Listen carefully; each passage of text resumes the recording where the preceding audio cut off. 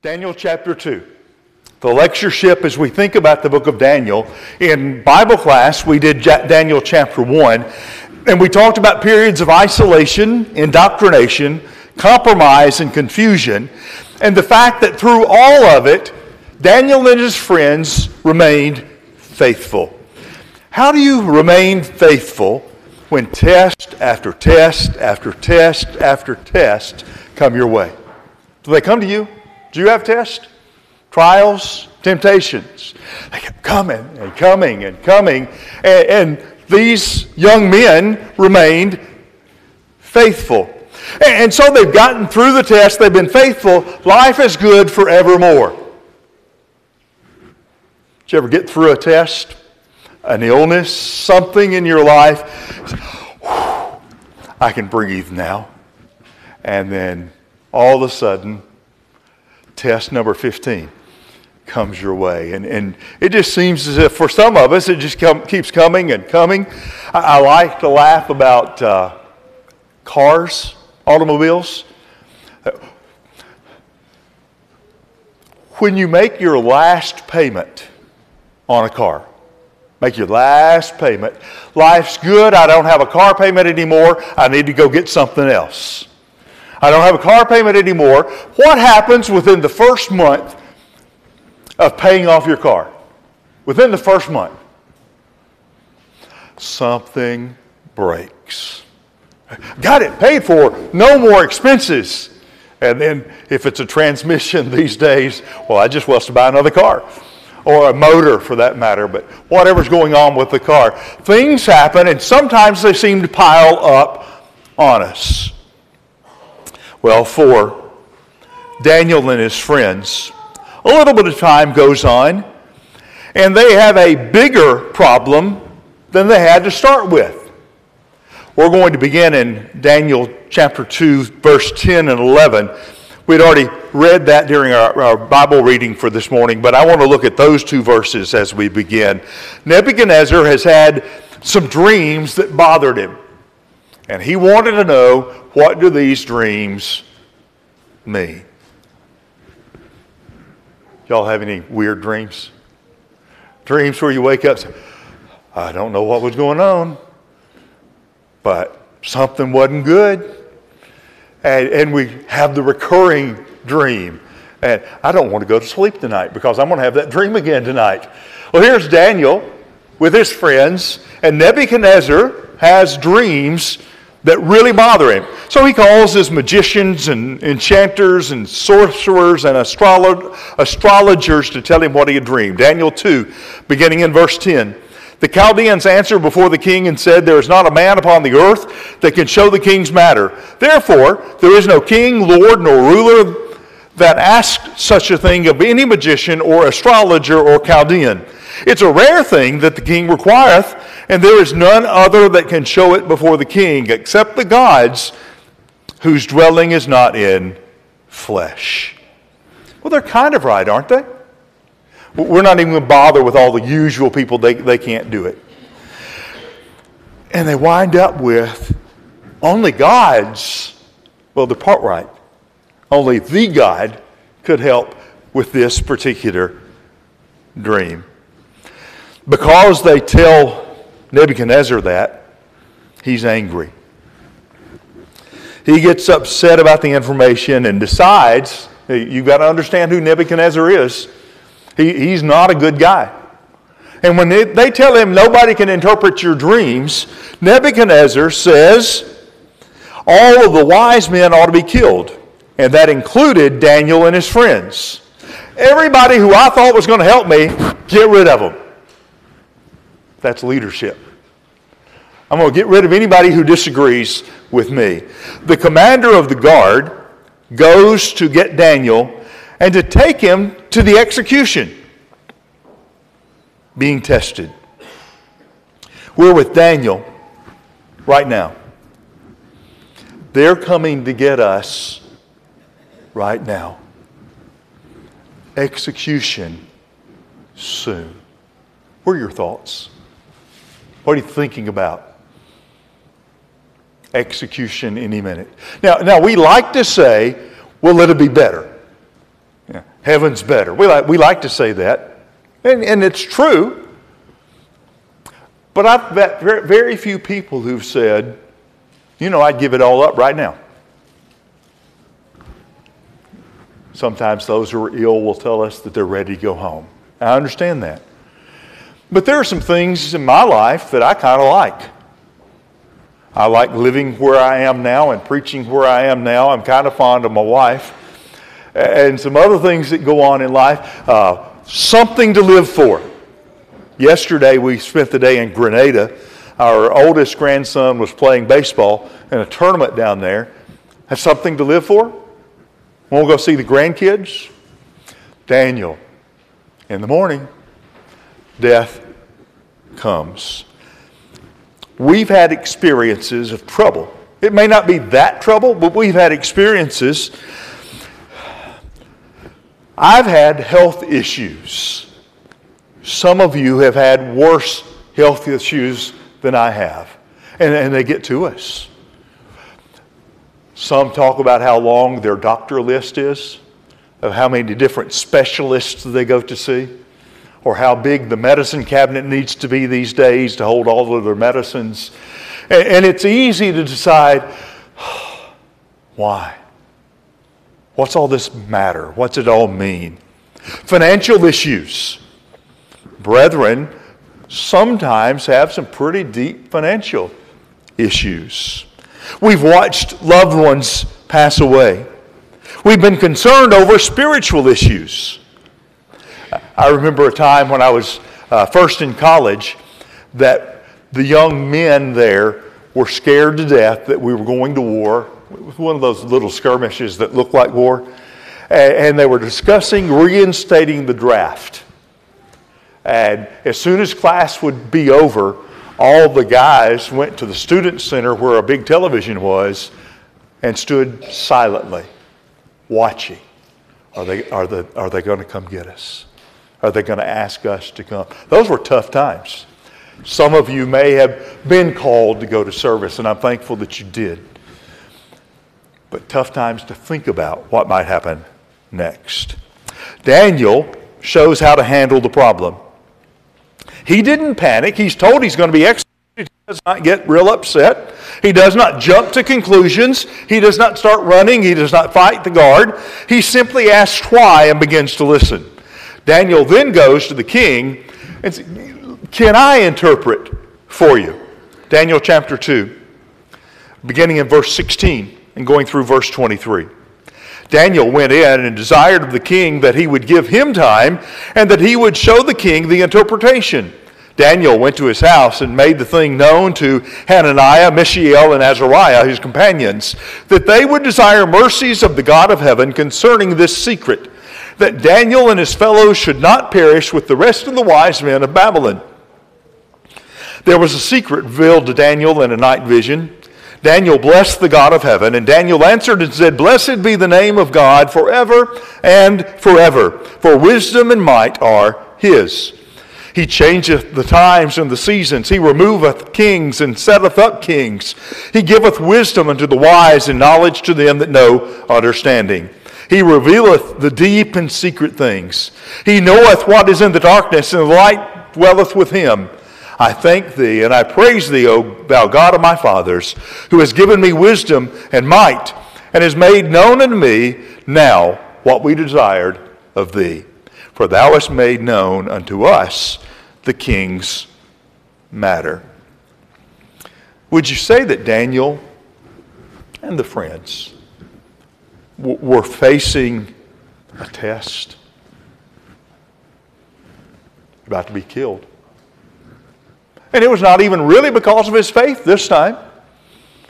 It's because I just don't like wise men anymore, and I'm going to kill them.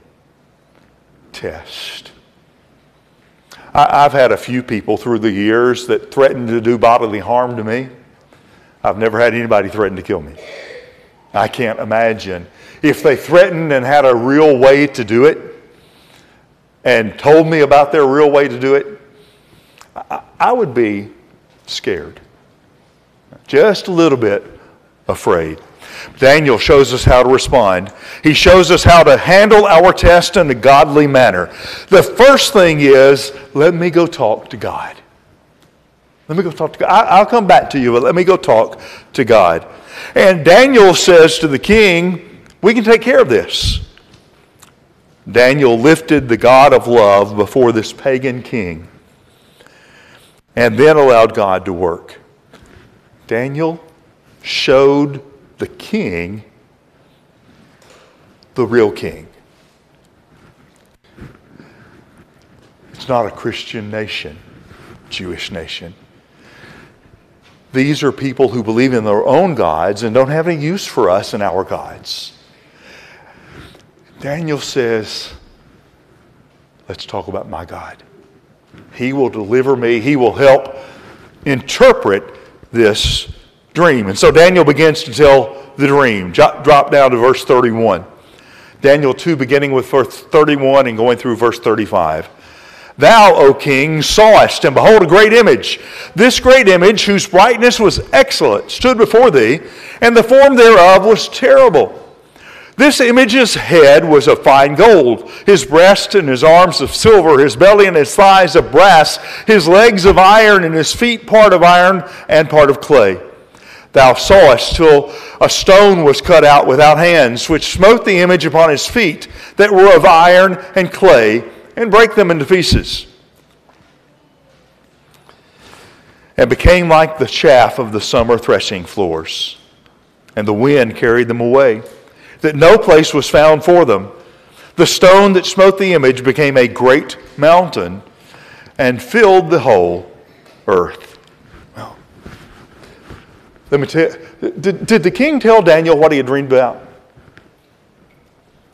As far as we know, he didn't. And Daniel comes back and says, Let me tell you about it. And describes this person and, and different parts to that person. By the way, has anybody mentioned that Daniel's not always the easiest book to study from? But we're seeing all these parts of this body and then this stone that crushes the body because Daniel has prayed and now he's gone to tell the king about his prayer. Secondly, Daniel speaks the truth. Daniel tells the king that God has given him the interpretation for the dream. Daniel speaks the truth. Truth can be tough. I've had folks ask me questions, and I, I really didn't want to give them the answer. We'll move around the answer. One of the, not religious, I'll get off of that one for a second. My mom had the beginning stages of Alzheimer's. And she was driving. Uh, she lived at that point in Hamilton, Alabama, and had come to Fulton to the Walmart store there. She still liked to make things, and she was told the Fulton Walmart had good patterns. So she drove to the Fulton Walmart, and when she came out of the Walmart, instead of turning right and getting back on what was then just 78, she turned left and headed directions she had never been in her life. She went by the Columbus Air Force Base and thought that people were shooting at her. She wound up in Starkville and ran out of gas. She was convinced her car was ruined. I, I, don't guess I can drive. My car's ruined. Well, truth was she had run out of gas. The wrecker put a little bit of gas in it and called me and said, Your mama's car is fine. She just ran out of gas. So we talked to mother a while, and my sister came, and she was actually staying at the apartment my boys were living in while they went to Mississippi State. Immediately, tell me about, tell me about the car. Tell me about the car. Next day, she calls. Have you heard anything about the car yet? We're ready for her to be done driving. Some of you have been there. We're ready for, well, we're taking care of your car. That was not a lie.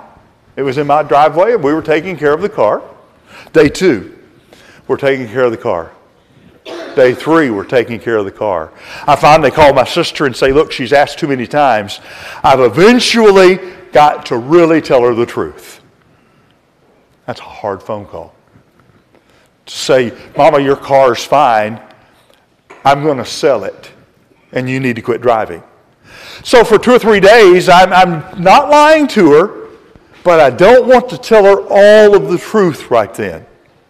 Here we are in Daniel chapter 2. We're going to drop down to verse 36 and read through verse 45. Daniel 2, starting with verse 36. This is the dream, and we will tell the interpretation thereof before the king. Thou, O king, art a king of kings, for the God of heaven hath given thee a kingdom, power, strength, and glory. And wheresoever the children of men dwell, the beasts of the field and the fowls of the heaven hath he given into thine hand, and hath made thee ruler over them all. Thou art his head of gold. After thee shall arise another kingdom inferior to thee and another kingdom of brass, which shall bear rule over all the earth. The fourth kingdom shall be strong as iron, for as much as iron breaketh into pieces and subdueth all things, as iron that breaketh all these shall it break into pieces and bruise. Whereas thou sawest the feet and toes, part of potter's clay and part of iron, the kingdom shall be divided, but there shall be in it of the strength of the iron Forasmuch as thou sawest the iron mixed with miry clay. As the toes of the feet were part of iron and part of clay, so the kingdom shall be partly strong, partly broken.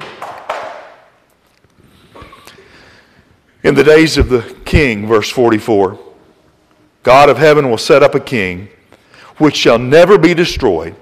The kingdom shall not be left to other people, but it shall break in pieces and consume all other nations. For as much as thou sawest that the stone was cut out of the mountain without hands, and that it brake in pieces the iron, the brass, the clay, the silver, and the gold, the great God has made known to the king what shall come to pass hereafter. And the dream is certain, and the interpretation thereof is sure. How much does the king get at this point? Daniel said, Here's what's going to happen kingdom's going to be broken up. Kingdom after kingdom after kingdom. Things are happening.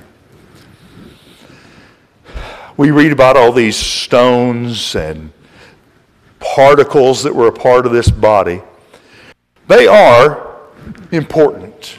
They all meant something. The head of gold represented Babylon, ruling 612 to 539 BC the chest of silver representing Medo Persia from 539 to 331.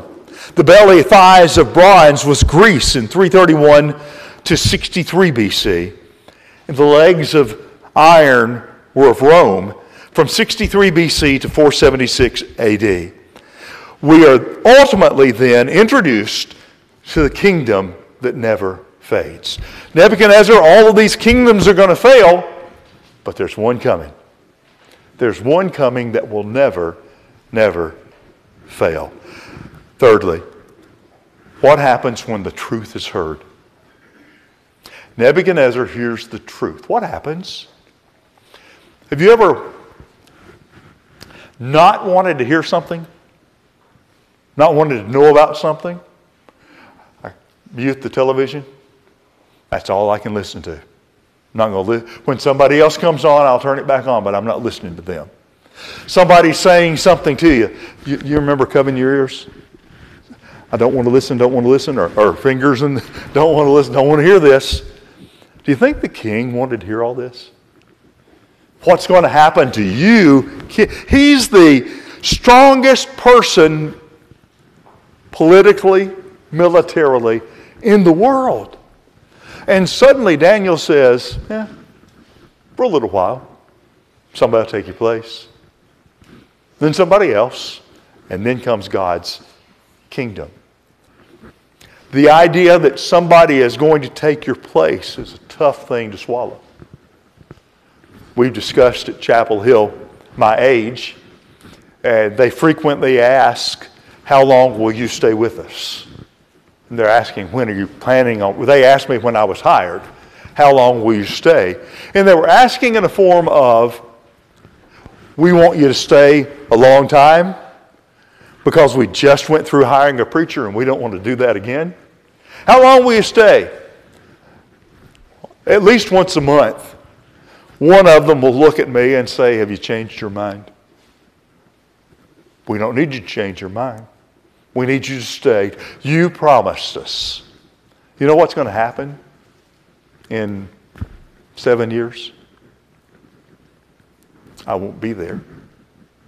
Somebody else will come in to be the new preacher at chapel. Do you think, do you think things might change? Things might change with a new.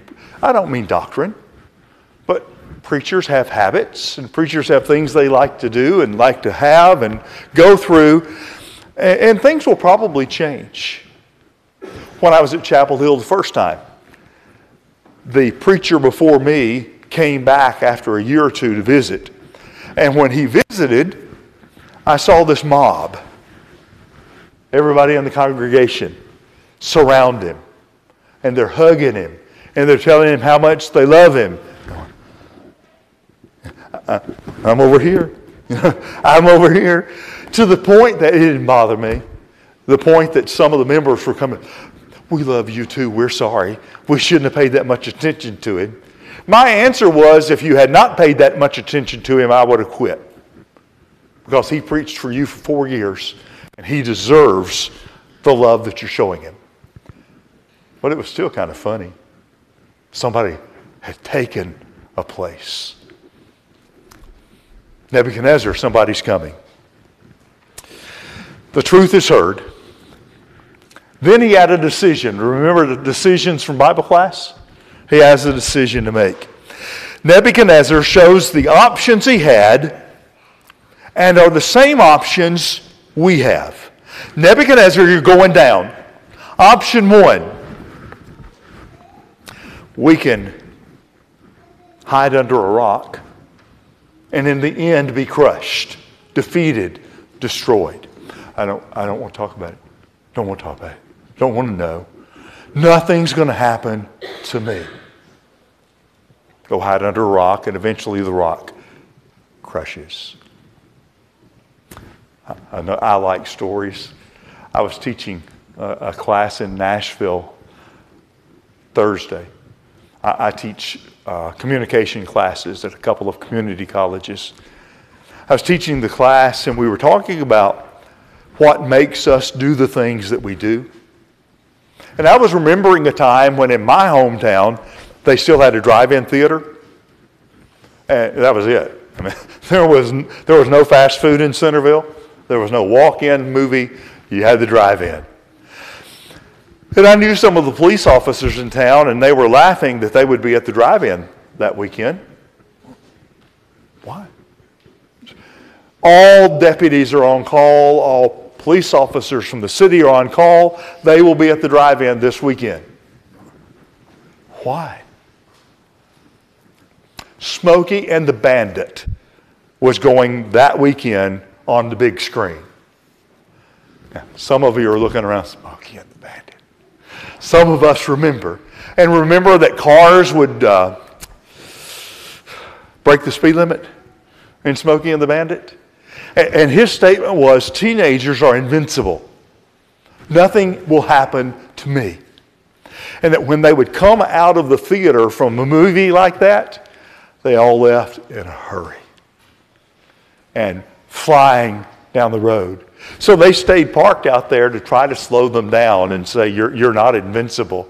And the speed limit still works in our town. We can hide, we can do something about it the rock can crush us, or for Nebuchadnezzar, we can be on the rock. We can rest on the rock. Chapter 2, verse 46 and verse 47. The king Nebuchadnezzar fell on his face and worshiped Daniel and commanded that they should offer an oblation and sweet odors to him.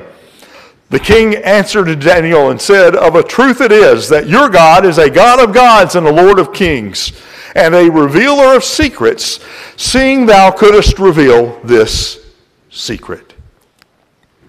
Even though he's told he's going to depart, Nebuchadnezzar says, Your God. Your God took care of things. And now I know. So in Daniel chapter 2, I want to go back to the beginning. We all have tests. We all have trials. We all have times when we're not sure, You remember, you remember bad things happen in threes? And you're going, I'm on about seven right now. I'm not sure where the three went. But bad things happen. Physically, emotionally, and spiritually. But the good news for us is that even though we'll be tried and tested, even though bad things may happen to us, the good news is that Jesus, the Christ, has gained the victory. And because he has gained the victory, we may as well. No matter what happens, God is with us until the end, and he is with us throughout eternity. Let's do that again. No matter what happens, God will always be with us. I don't know where God is. He's right there beside of you. He knows what you're going through. He understands. He will be with you for all eternity. A person who dies physically without Christ will also die a second death of separation from God for all of eternity. Those who are with Christ, can you imagine? Can you imagine that day? Those who are with Christ. And, and we first see heaven. We see our Savior. Can you imagine what that's going to be? Oh, there are all sorts of questions about what heaven's going to be like. I don't answer many of those questions. My answer is it's going to be a whole lot better than anything I've ever seen. And I'm ready to go. Are you? Are you trusting in God regardless of what happens. We want to offer the invitation this morning. If you need to become a Christian today to have Jesus on your side, we would invite you, because you've already heard the word, to change, to repent, to go another direction, to confess that Jesus is the Christ, the Son of God, and today be buried in Christ in baptism. Jesus is with you. Your sins have been washed away. If you're here today and you need the prayers of this church, we want to help you with that as well. If you need to make a public response, we invite you while we stand, while we sing.